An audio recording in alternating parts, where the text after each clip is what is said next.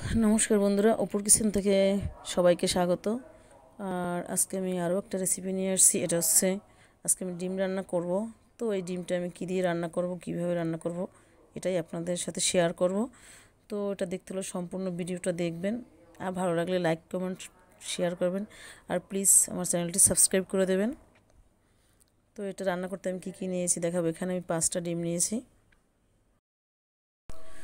তো বন্ধুরা দেখুন এখানে আমি কি কি নিয়েছি নিয়ে গিয়েছি এখানে আমি ধনে গুঁড়ো, এখানে আছে গরম মশলা গুঁড়ো, এখানে আছে তিল, সাদা তিল নিয়েছি আমি, এখানে আছে হলুদ মরিচের গুঁড়ো, এখানে আমি নিয়েছি আদা, রসুন, পেঁয়াজ বাটা, নিয়েছি আমি গোটা জিরে, নিয়েছি আমি কাজু বাদাম, আর এখানে আছে ভাজা জিরে গুঁড়ো।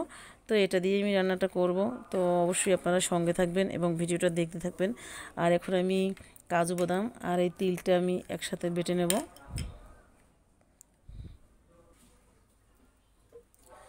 তো বন্ধুরা, এখানে আমি কড়াইটা বসিয়ে দিয়েছি। দিয়ে দেব সাদা তেল। তো বন্ধুরা, প্রথমে আমি ডিমগুলো ভালো করে ভেজে নেব।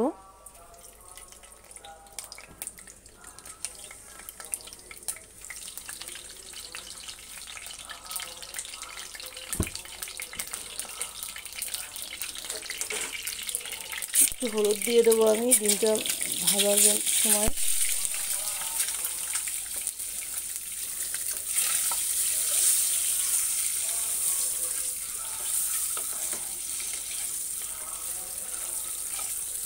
তুলে নেব এখন। এটা ভাজা হয়ে গেছে, এখন আমি তুলে নেব।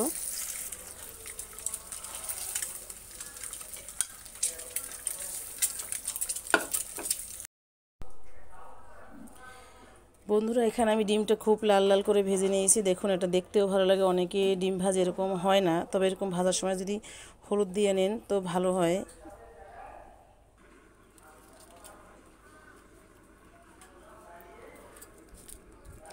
দিয়ে দেব তেজপাতা গোটা জিরে। এ বাবা মলু মির্চেপের পরে কি করে দেখ? খাবে এখন। দিয়ে দেব আদা রসুন পেঁয়াজ বাটা। দিয়ে দেবো সামান্য পরিমাণ একটু জল যাতে মশলাটা পুড়ে না যায়।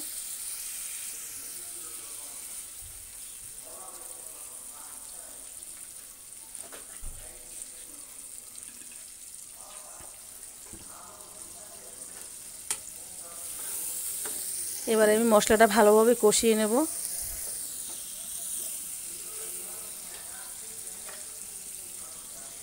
দিয়ে দেব হলুদ মরিচের গুঁড়ো।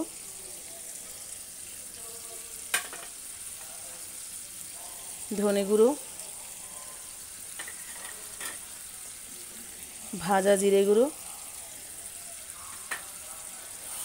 এবার আমি ভালোভাবে কষিয়ে নেব।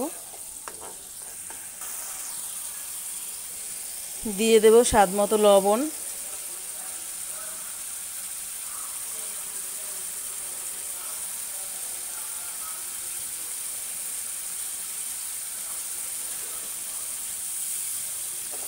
বন্ধুরা, মশলাটা আমার কষানো হয়ে গেছে। দিয়ে দেব আমি এখন তিল আর কাজু বাদাম বাটা।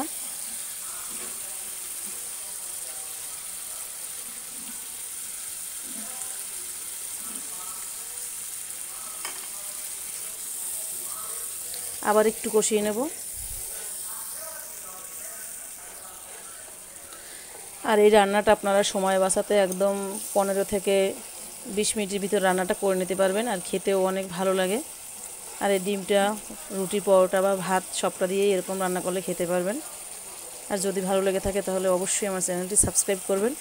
আর আমার একটা ব্লগ চ্যানেল আছে নতুন। প্লিজ যারা আমার রান্নাঘরটা সাবস্ক্রাইব করেছেন, তো ব্লগ চ্যানেলটাও আমার সাবস্ক্রাইব করে দেবেন। আর পেজটাকে ফলো করে দেবেন। তো এটা আমার কষানো হয়ে গেছে, এবার আমি ডিমগুলো দিয়ে দেব। আর দিয়ে দেবো সামান্য একটু জল।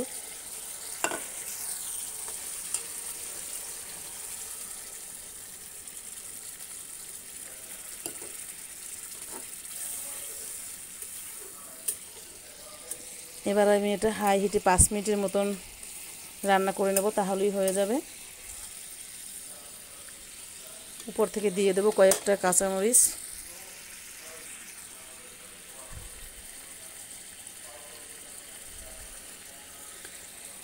তো বন্ধুরা, ডিম রান্না তো অনেকেই খেয়েছেন, তো এরকম কাজু বাদাম বাটার সাদা তিল এরকম দিয়ে রান্না করে খেয়ে দেখবেন, অবশ্যই আপনাদের ভালো লাগবে।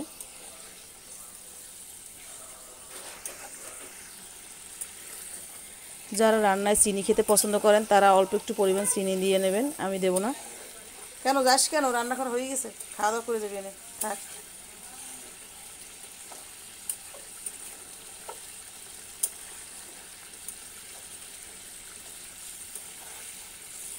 ঝোলটা একদমই আপনাদের পছন্দ মতো রাখবেন। আমি আরেকটু কমিয়ে নেব। আর এরকম রান্নাটার ঝোলটা খেতেই খুব মজা লাগে। বন্ধুরা, রান্নাটা হয়ে গেছে। এরপর পর্যায়ে আমি একটু গরম মশলা গুঁড়ো দিয়ে দেবো।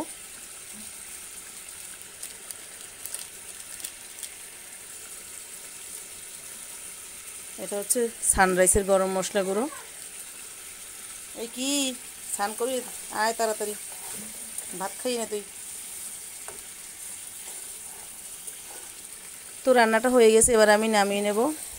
আশা করি আপনাদের আজকের রেসিপিটা আপনাদের ভালোই লেগেছে।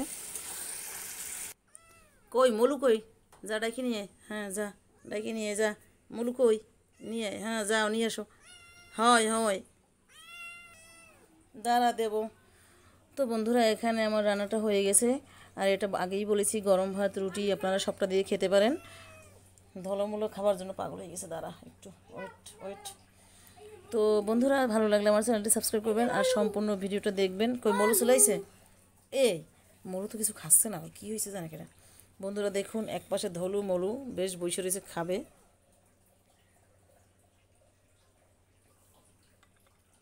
তো প্লিজ আমার চ্যানেলটি সাবস্ক্রাইব করে দেবেন, আর আমার ভ্লগ চ্যানেলটিও সাবস্ক্রাইব করে দেবেন। দাঁড়া, দিচ্ছি দিচ্ছি, দাঁড়া ওয়েট ওয়েট একটু একটু ভিডিওটা শেষ করে নিই, ধোলামুলো বয় তো সম্পূর্ণ ভিডিওটা দেখার অনুরোধ রইল, সবাইকে ধন্যবাদ।